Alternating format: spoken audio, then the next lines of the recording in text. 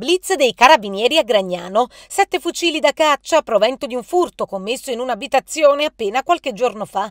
Erano nascosti in sacchi di nylon e in uno zaino mimetico. La scoperta è stata fatta in via Caprile. Durante un servizio di controllo del territorio, i carabinieri della locale stazione hanno notato le stecche a ridosso di un fondo agricolo che però era senza recinzione. In un primo momento sembravano rifiuti, ma i militari dell'arma hanno voluto verificare. All'interno sette 7 carabine per la caccia e circa 200 cartucce di vario calibro a palla spezzata. Le armi perfettamente funzionanti sono state sequestrate e saranno sottoposte ad accertamenti balistici e dattiloscopici per verificare se siano state utilizzate in fatti di sangue, indagini in corso da parte dei carabinieri per verificare la dinamica dei fatti.